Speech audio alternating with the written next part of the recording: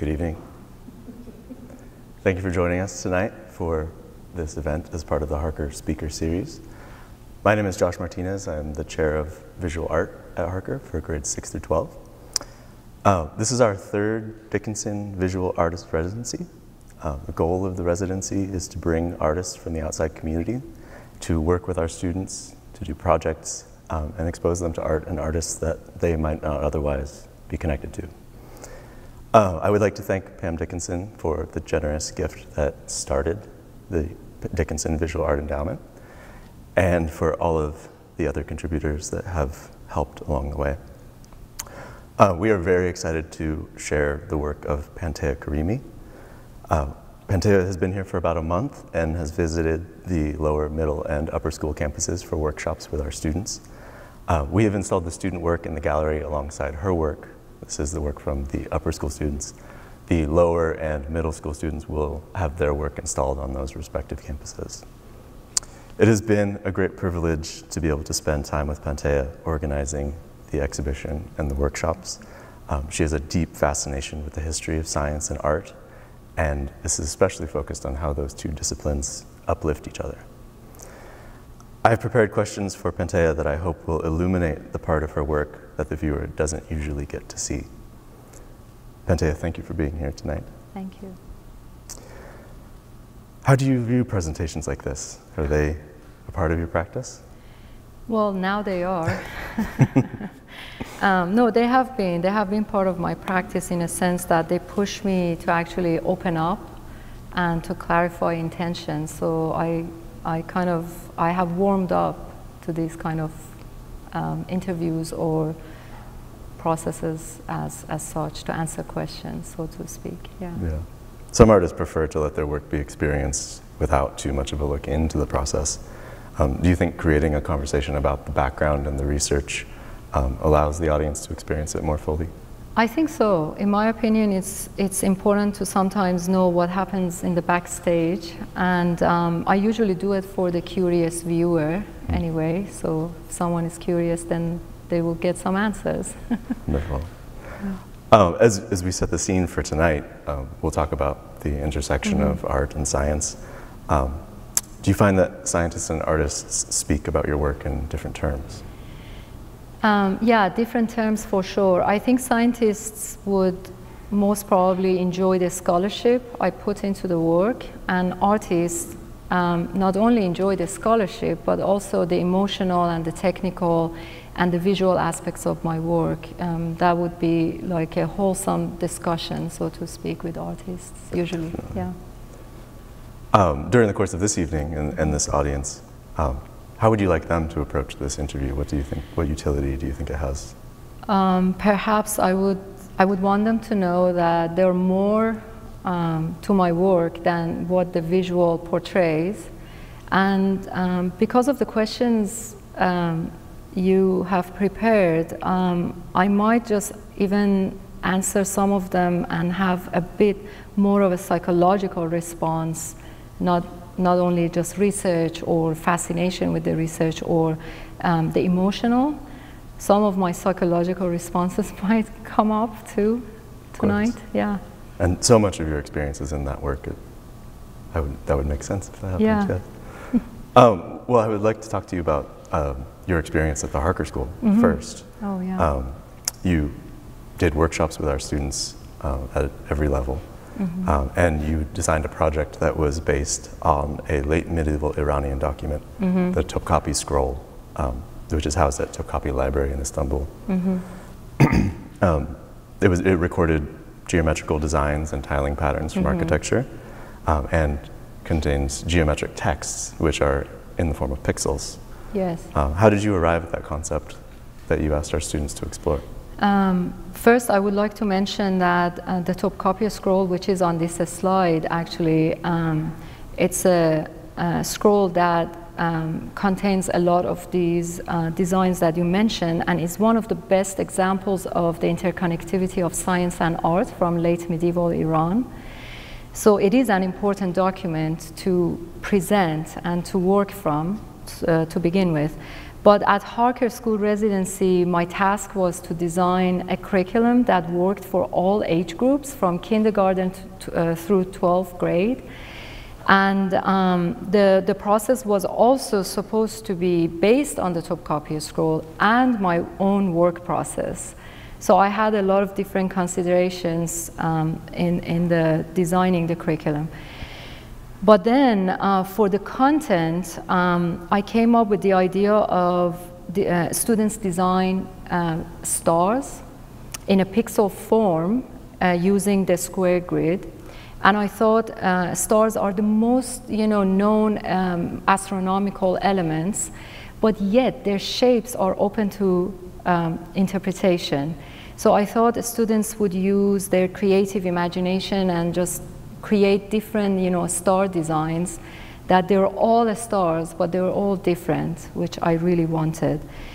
Um, and then pixel, right? Pixel is a very known term, and especially to young students because they play games, and there are a lot of games, such as Minecraft, that are based on these pixels. So I thought that would be appealing to some of the young students as well. Some of them mentioned that. oh, that's good to know. um, they all loved this project. It, mm. it, was wonderful at every level, and it was so cool to have you come today and look at the, the work that Yeah, that was the first time I actually saw the um, finished uh, projects. Yeah. yeah. it was so surprising the variety of each star. I, yeah. When you were in my photography class, um, they were working on their pixel grids, and you and I took a photograph from the James Webb Telescope Yes. And zoomed in all the way until you could see the pixel structure. Absolutely. And it was just so magical. Moment. Yeah, I actually amazing. yeah, these are these are the buildings that use all those pixel tiles and then um, the one that you're referring to yes. is this one. Is. Yeah.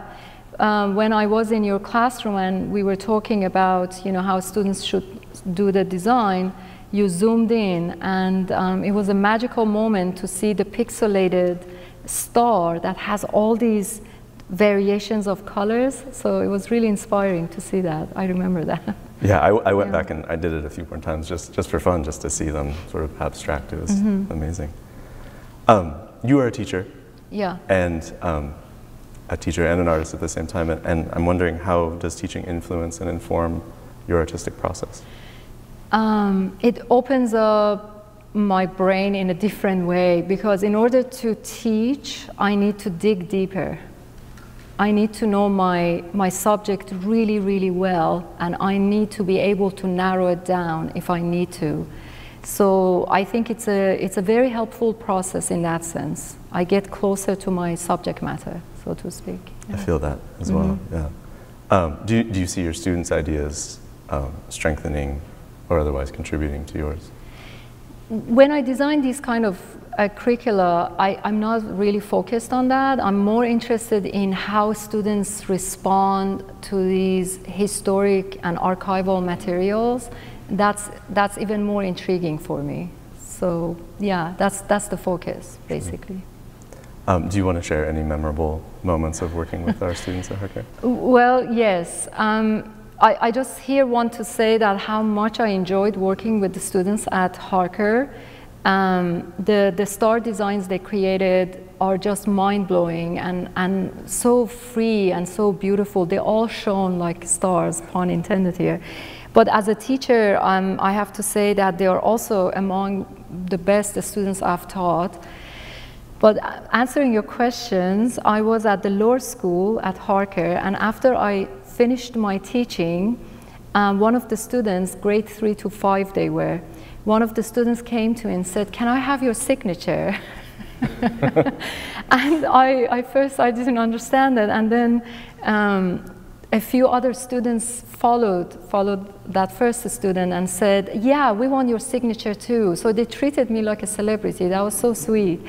And then um, one of the other best moments that I clearly remember is when I was assigned to do a critique session with the upper school students, the high schoolers. Um, I was stunned by how deeply they explored their subject matters and they executed all of these subjects in different various media.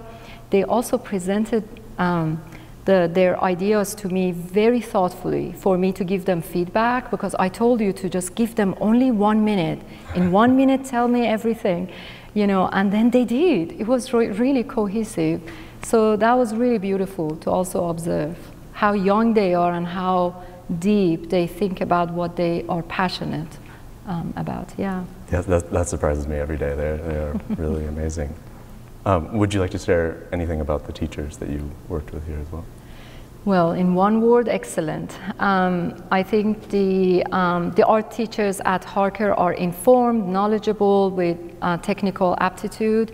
And since my task was to design a project that worked for kindergarten through grade you know, 12, um, I had to work with different media and different teachers, but they made me really, really comfortable, just, you know, kind of like a smooth process into the um, teaching, you know, sessions.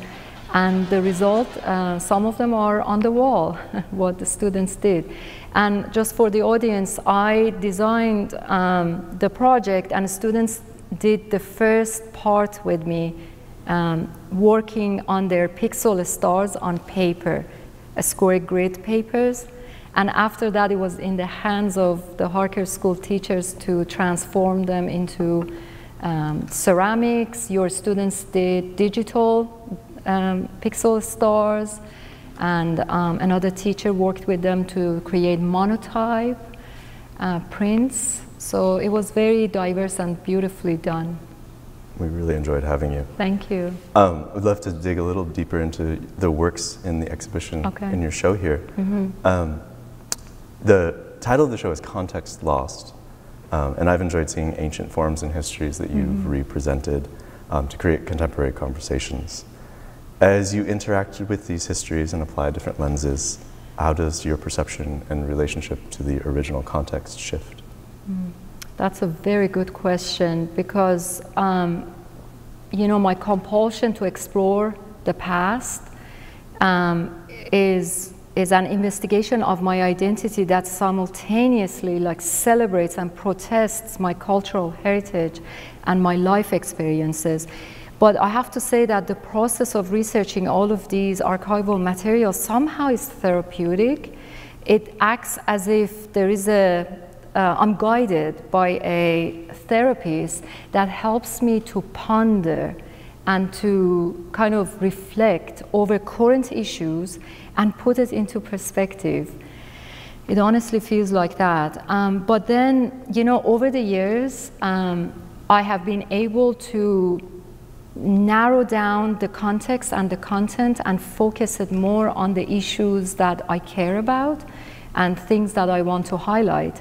So now the works that I've been doing is around not only my personal stories, but also um, the works highlight these uh, scientific and um, cultural and historic, you know, archival materials and often put into socio-political contexts. I love that you're blending the personal mm -hmm. and the historical. Mm -hmm. um, it reminds me of another work that, that you made um, that we have exhibited here, your marbling prints um, that include images and references to the saffron crocus. Mm -hmm. I visited your exhibition, um, Saffron Saint of Spices at the Triton Museum. Um, I think it was last spring when we, we first started working together. That's right. Um, and I was struck by how you depicted a medicinal plant as a divine being.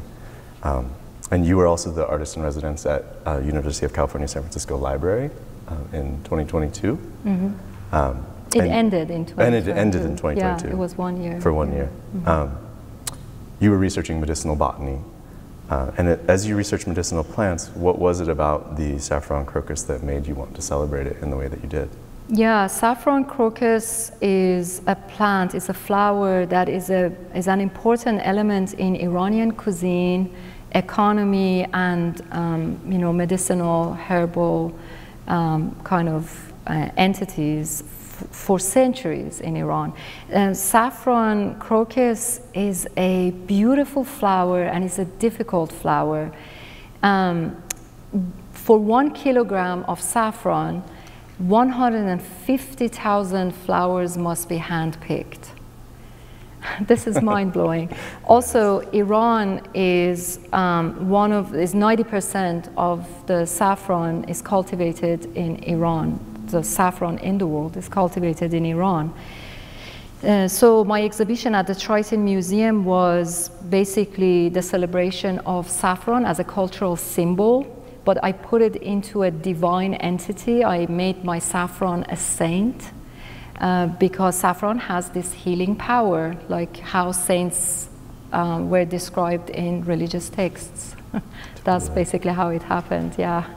In that show, too, there, there's a video of the crocus being harvested. Yes. Yeah. Um, and I remember the, the ground is, is so cracked and dry, and, and these very fragile flowers are growing out of it. Yeah. Um, that seems to add to that as well. Absolutely, because um, it grows in a very um, kind of like um, cold climate, I would say, and they have to be handpicked. Um, sometime, like, you know, farmers have four weeks, uh, late October to November time, which is also very cold. Um, it's, a, it's, an, it's an amazing flower and the climate that it needs and it must be handpicked and all of, all of that attributes make it a very important flower to celebrate. Absolutely. yeah.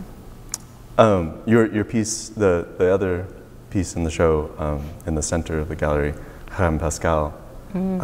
Was originally a site-specific work for the Felt Factory Gallery in San Francisco. Um, and then it was later installed at MIT's Rotch Library of Architecture and Planning, mm-hmm. um, along with a few other places. Yeah. Um, can you tell us about the background and the inspiration for that work? Yeah, this is the first um, mathematical artworks I made in my math series, and so it's very close to me in that sense. Um, it is based on uh, Pascal triangle and binomial numbers that form this triangle shape of infinite numbers. So the triangles can continue forever if I choose to. Um, so the binomial numbers were um, proved by uh, Pascal in the 17th century, but uh, Omar Khayyam, the poet and the mathematician in Iran, assumed these numbers in the 12th century, centuries before Pascal. Actually, in Iran, we call it uh, Khayyam uh, triangle, not Pascal. So um, creating this work, I wanted to pay homage to both mathematicians. And the uh, installation at Harker uses over 260 hand-cut felt triangles that I screen printed binomial numbers on them. And um, they are really like um, becoming an animated, you know, kind of um, little moment, you know, when you're looking at them because of the colors and the numbers they're there. That aspect of it also was very enchanting for me in that sense. And its monumental scale as well. Yes, that one at Harker I think is around nine feet. Mm-hmm. But I've done 16 feet in other galleries and other kind of formations of it I've done as well. As you can see on the slide, um, uh, at the MIT, I created a longer version of them. Yeah. Do you consider Khayyam to be a saint similar to Saffron? no, no, Omar Khayyam cannot be a saint. And there is a reason for it because it's not exciting to me to make him a saint. But then saffron crocus is a saint because it's more intriguing and it's more interesting. It's unexpected. But then saffron has this healing power, like um, as I said, like saints. And another reason is that Omar Khayyam is dead, but saffron crocus lives on because nature lives on, and the healing properties of nature keeps, you know, you know, kind of like informing us about our body and mind and everything else. So yeah, saffron certainly is the saint here. Um, the third section of your show, Artful mm. Attacks, um, references the Topkapi scroll mm. and an old script format, square kufic. Um, it utilizes a grid structure uh, and again the pixel. Uh, what was it about the script and its origins that made it ideal for you to create commentary in, on contemporary politics surrounding Iran? Yeah, the Topkapi scroll um, includes all of these beautiful tile designs in pixel formats, and these tile designs were used um, on medieval structures uh, from early 14th century in Natanz, which is a city near Isfahan. Natanz is a historic city. But then the Iranian government's nuclear site is very, very close to Natanz, and it was attacked in 2022, 2020 and 2021.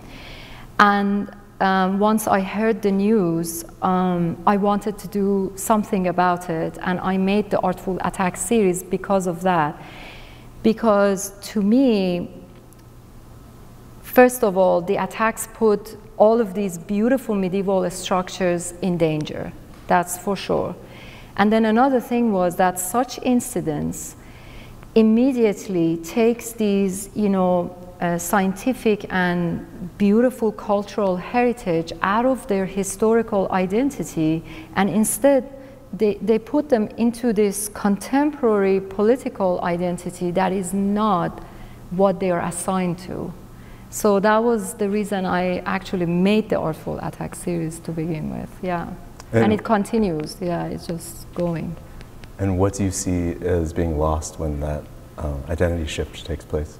Everything. I think the essence of these beautiful cultural heritage and their beauty and what they are, what they mean to present, they all get lost in translation when they are assigned a political identity. Yeah.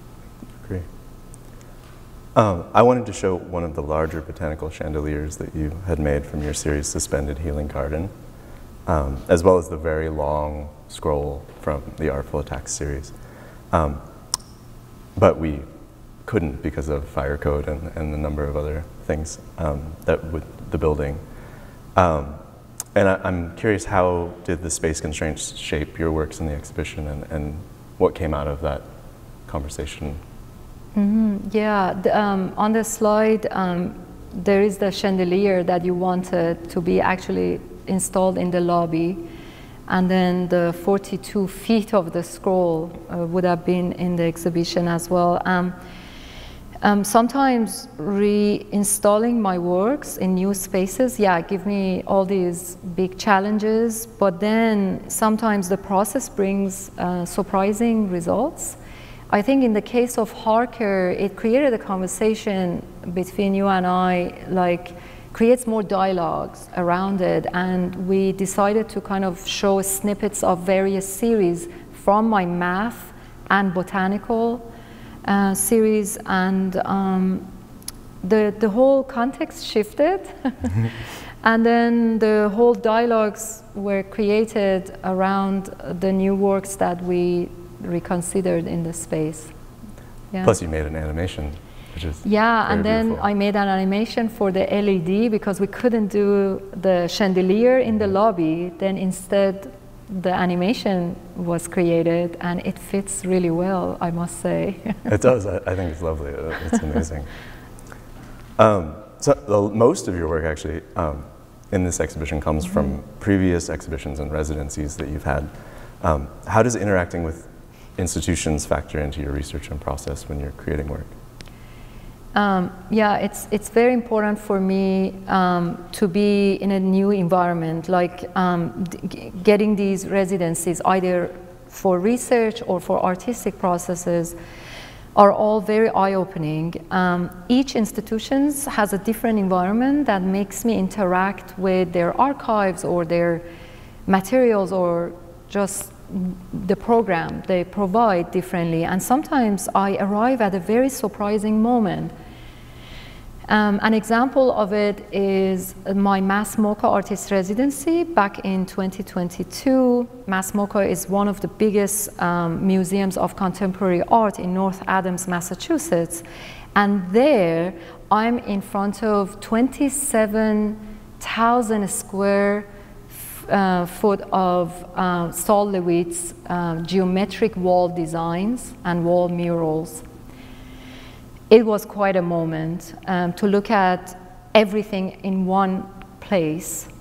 And that um, kind of experience was quite surprising in a sense that for the first time I realized I did not see geometry as Sol LeWitt did.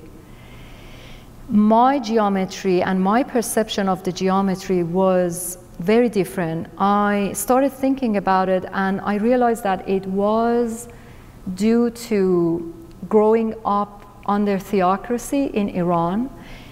Studying science um, was a lot through the lens of religion. And um, at that moment, I decided to make um, an artwork that talked about this psychological kind of like encounter. I created a series of videos in front of Sol LeWitt's um, star uh, mural, and the stars, interestingly enough, are similar to those that are um, included in the Topkapi scroll. Mm-hmm. And these videos, I reject geometry, specifically the shape cube.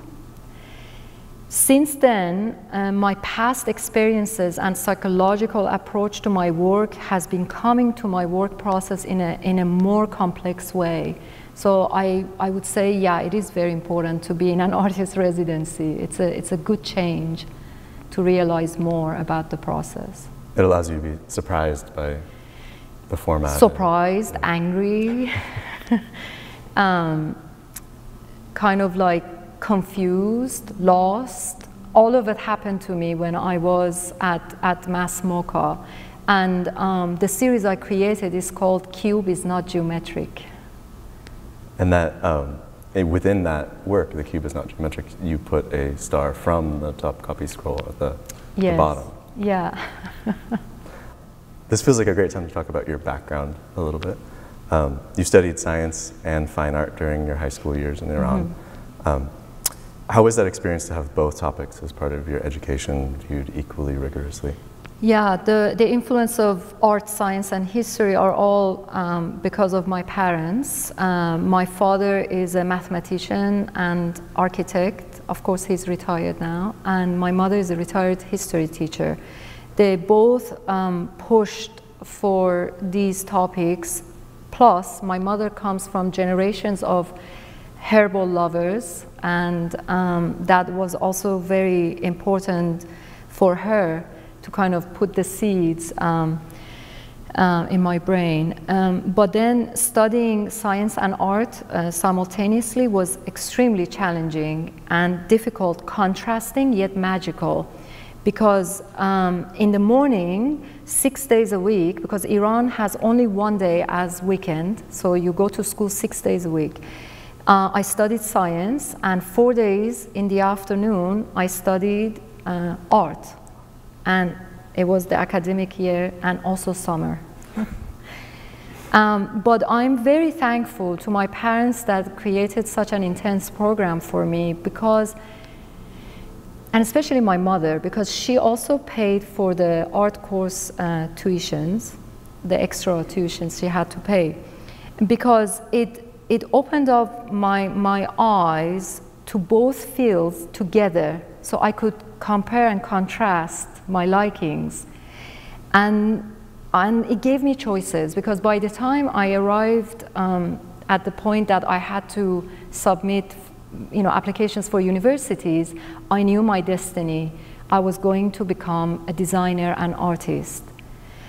So I um, studied graphic design in Iran, and during that time, I familiarized myself with all the um, beautiful Iranian crafts and printmaking techniques.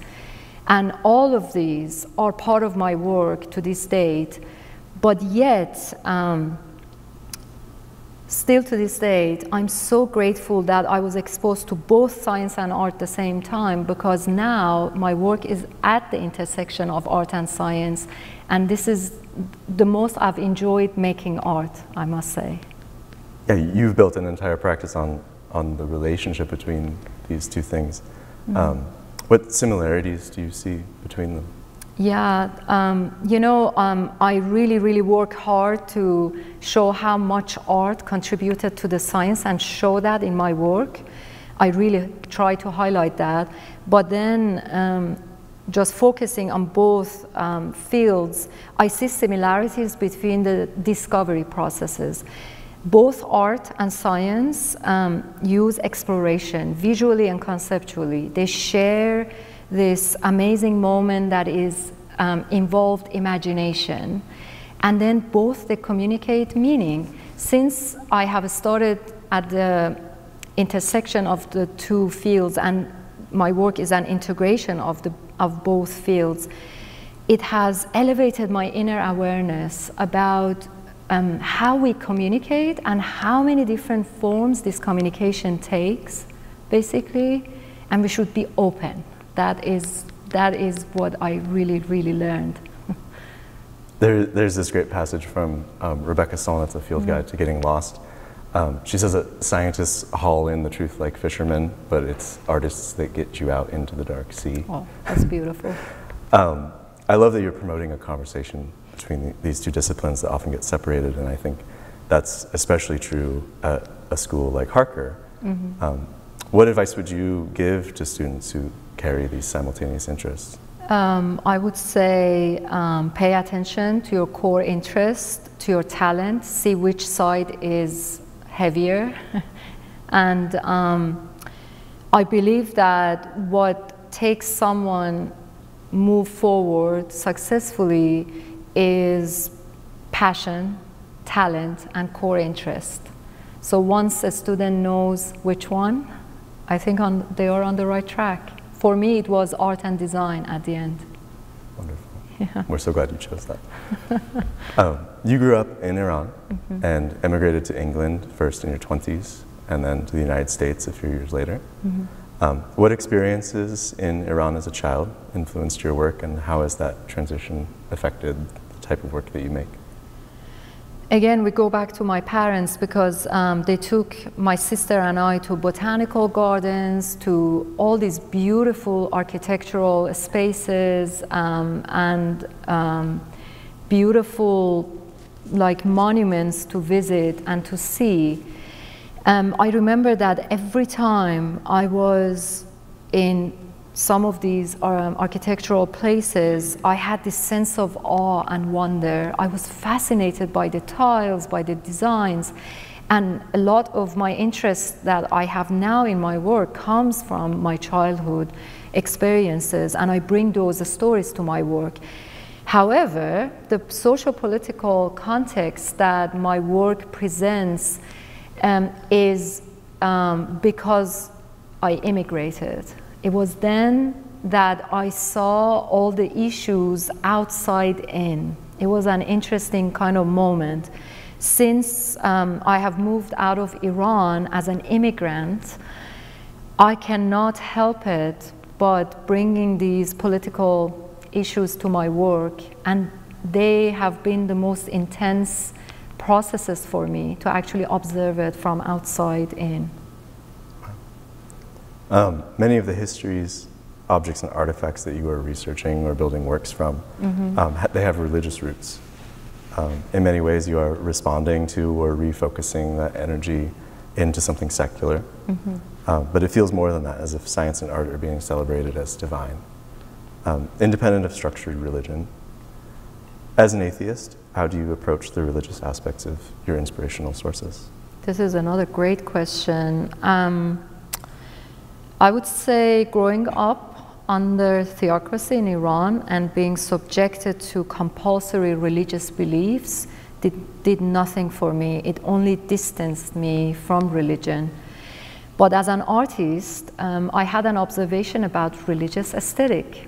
It's beautiful. To me, uh, religion uses art to appeal to masses. And religion uses art at the highest intricacy to kind of, uh, you know, um, praise these deities and, and saints. All these books and objects and structures that we observe, they are made beautifully to, to do such a, you know, good job. So in my art, I decouple art from religion. I use the aesthetic religion uh, portrays, which is simply art. So I use the art side of it. And it's, a, it's also, I use it as a beautiful moment to be able to tell a story and put these scientific subjects or cultural subjects or other contemporary subjects I've done into this divine moment. They deserve it. Is, is this another moment that you consider to be context lost? Actually, in this case, I would say context is found in the right manner. because um, religions can use the aesthetic if I mean they continue doing it, it's beautiful, that's fine. But for me, I use that idea to kind of bring, you know, for instance, you know, saffron crocus or um, women, contemporary women who are requesting their bodily autonomy or other rights. They put, I put them into this divine moment, and these are what I care about, and that's how I see it, you know, basically. Wonderful. Uh, well, this is a great chance for us to talk a little bit about your work specifically, um, your process. Mm-hmm. Uh, you used mixed media from marbling paintings to 3D mm-hmm. printing to original prints mm-hmm. and monotypes. Um, can you tell me more about these mediums and why you chose to imagine your works through the various mediums? Yeah, um, well, I, I usually work on paper, um, but then interpretation of these scientific ideas in a dynamic way sometimes requires me to get out of paper and to create um, all these objects, such as the one that I created a triptych that celebrates saffron, or I sometimes work on fabric. Uh, after religious, you know, banners, then it has to be fabric to celebrate, for instance, the bravery of Iranian women. And then um, I'm not a sculptor. Suddenly, I find myself that I have to perceive cube in a different way, and then a cube has to be made. And then um, there are moments that um, I want to bring my childhood experiences to the work, such as um, this artwork that is called Folding Gardens and Stained Memory. is the story of my childhood perception of a botanical garden, that how the trees were tall compared to my height, so the installation is 10 feet high. And I created the installation using um, the 12th century medicinal uh, botanicals images. And I digitally illustrated them on these fabric pieces. Then in the exhibition, I asked um, the viewers, the gallery goers, to go among the fabric pieces as if they were walking into a botanical garden. And then um, on this slide, I also have another example of um, um, uh, the unbearable uh, lightness of mathematics, an exhibition that I created based on my childhood memory of my science school and the mathematic, mathematics class. And um, I created all these mathematical formulas with white chalk on black paper that looked like blackboards. Um, so all of these moments need to get out of me, and sometimes I need to kind of consider other materials. I feel that in your work. Excuse me. Um, that there, there's a like an urgency to the material that it, it needs to be made out of that particular thing. Yeah, that's the right reading. It is urgent for me. And sometimes people say, oh, there are different materials or the, the, the look is somehow different. But I somehow keep the color palette very kind of like down to earth, so to speak. Yeah, they're not as colorful um, um, as usually they are within my, for instance, marbling prints. Marbling prints are the most colorful works I, I make. Um, yeah, it's, it's an urgency. It has, to, it, has to, it has to be done. It is what it is, yeah. so to yeah. speak, yeah.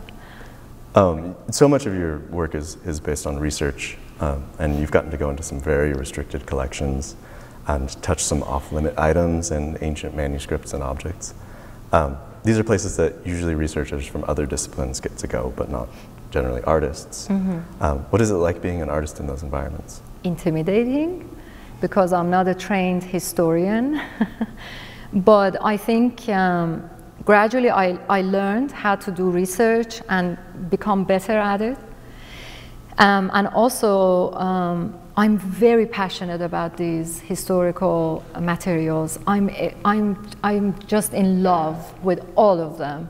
And I think this passion and love I have for them um, is very evident when I go to an institution and the, usually the library staff members just really respond mm-hmm. to that passion I have for these archival materials. But then um, I'm also grateful to my sister, who is a scholar and uh, hi- uh, architecture historian. And she paved the path for me and she showed me methods when I started working on this uh, project back in 2014. So it's almost 10 years. Wow, that's great. Yeah. Um, do you want to share any memorable experiences about getting to see these collections? Yeah, at the British Library in 2018, for the first time, I touched Galileo's handwriting and his signature. That was magical. And I also saw his crooked, lovely drawings. They're on the slide. he uh, recorded his observations of the moon after he made the telescope, and he drew them. That's just, that's just magical to begin with. At the MIT library, I touched the smallest book in the world, uh, which is half the size of a stamp. It is also on the slide. And that book is also mm, just uh, represents Galileo and his letters to his friend about religion and science. And then the first time I touched uh, volvelles, and volvelles are astronomical paper astronomical gadgets that were installed inside scientific manuscripts. They calculated celestial problems. They were interactive. And they gave another dimension to the scientific manuscripts because they were designed uh, with a lot of beautiful calligraphic you know, numbers and they had a lot of intricate designs on them. And the first time I touched one and I rotated it, um, it was really magical. And then, last but not least, seeing one of the best medicinal botanical books and manuscripts that were created as part of World Heritage, not only Iran, but World Heritage. Um, it's been absolutely magical and, like, I don't know, surprising that I I found myself in those moments. I never I never imagined, but it happened. I can only imagine even that tiny book must have so much gravity. Like, it just feels. Well, amazing. at the MIT library, they gave me um, um, a lot of tools to actually be able to observe and look and also page it. yeah, it was really wonderful to interact with it. That's amazing. Um, this is our last question. Um, oh. How do you want viewers to understand the integration of art and science um, and the connection that you maintain in your work as they go back out and look at your show tonight? Um, yeah, okay. Um, this is a very good question because we have to understand that how much of early science was involved with art and how much scientists back then relied on art to actually convey meaning and to open up to the audience with visuals to just you know archive their research. A great example of of such work is um, the diagrams, the prism diagram by Isaac Newton. Mm. When he was researching this prism, uh, he drew the whole process. That became such a big, big diagram to cherish at the time. And then, um, so these early scientific manuscripts and ideas relied on art, so there are a lot of beautiful kind of examples that I use as source of inspiration to create my installations or some of the kind of forms within my works come from them. And in every exhibition, in my statements or on the labels, I reference everything. I want people to know where they are coming from and how I interpreted them. But then, to answer precisely your question, um, I have to say that I invite the viewer to observe the integration of art and science in my work, not only uh, that you know they observe my personal stories, but also to observe how that integration has enabled me to reveal these archival materials and then also be able to put them in social political context and also reveal that side of you know, my experiences as well. Wonderful. Thank you so much. Um, thank you for being with us tonight and for sharing your work and your process. It means so much that you're willing to share Thank that. Um, I'm sure that many audience members have questions, um, but in, in lieu of a question and answer session on stage, you've invited everyone in the audience to stay for a few minutes afterwards um, and have a refreshment and ask in a more informal setting, in a small group or one on one. Is there anything else that you would like to say before we close?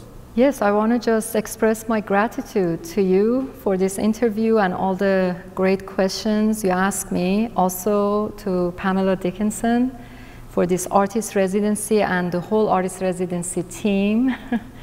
and last but not least, my deepest gratitude to all the students who worked with me and all the amazing Harker School uh, teachers uh, who worked with me in the past few months in this process. I'm very, very grateful and I really enjoyed my experience. Thank you.